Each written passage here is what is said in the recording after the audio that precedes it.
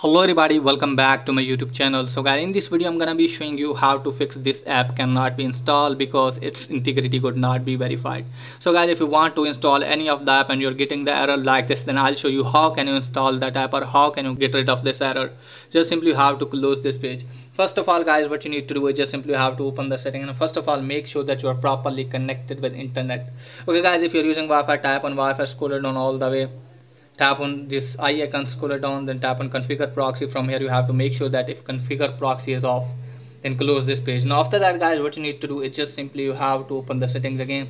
Now after that guys what you need to do is just simply you have to tap on screen time then you have to scroll it down then tap on content and privacy restriction. Then you have to tap on iTunes and App Store purchases. From here guys what you need to do is just simply you have to put the passcode. Now from here guys what you need to do is just simply you have to make sure that if this is allowed and from here you have to make sure that you have checked on don't require and then check if it's working or not.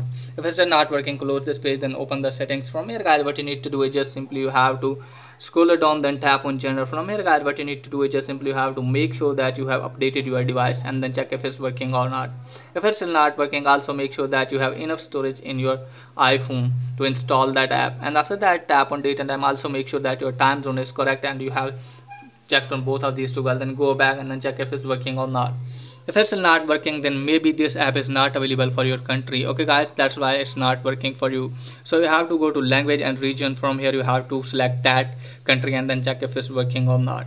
If it's still not working then close this page. Now open the settings tap on your apple id then sign out your apple id and then sign in other apple id and try to install that app and after that check if it's working or not.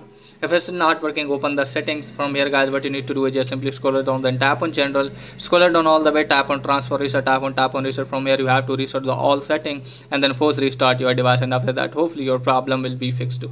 So that's pretty much for today video if that is helpful please like and subscribe my channel. Thanks for watching